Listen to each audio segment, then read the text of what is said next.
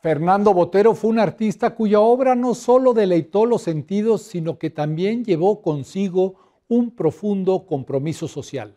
El pintor colombiano entendía que los artistas tienen la gran responsabilidad de usar su talento para generar un impacto positivo en la sociedad. La siguiente pieza es un homenaje al gran Botero. La universalidad de un artista es poder hablarle a públicos tan opuestos como por ejemplo el público latino, el público de Corea, eh, de Singapur, etc. Conocido como el pintor y escultor colombiano de las figuras voluptuosas, Fernando Botero defendió a lo largo de su excepcional carrera el arte de la generosidad con sus obras, al tiempo que revolucionó el acceso a la cultura.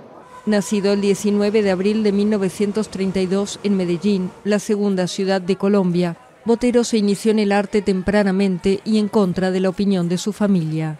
A los 15 años vendía dibujos sobre temas de tauromaquia a las puertas de la Plaza de Toros La Macarena.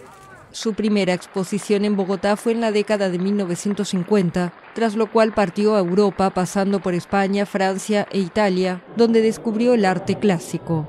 En su obra también influyó el arte mural de México, donde se instaló posteriormente pero fue en los años 70 cuando su carrera despegó, tras conocer al director del Museo Alemán de Nueva York, Dietrich Maloff, con quien organizó exitosas exposiciones. Enamorado del renacimiento italiano, se proclamaba ante todo defensor del volumen en el arte moderno.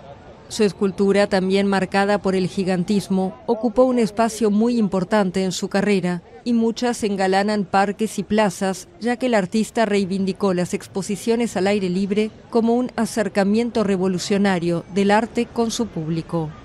Botero fue también un importante mecenas con donaciones estimadas en más de 200 millones de dólares.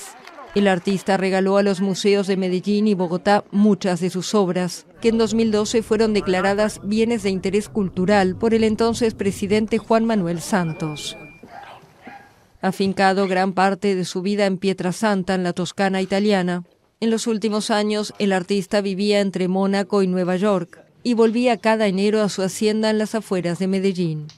En sus últimos años, en una carrera febril, trabajaba 10 horas diarias, aterrado, según decía, por la sola idea de dejar los pinceles. Su legado incluye más de 3.000 pinturas y 300 esculturas. Y me da lástima es irme de este mundo y no poder trabajar más porque tengo un gran placer trabajando.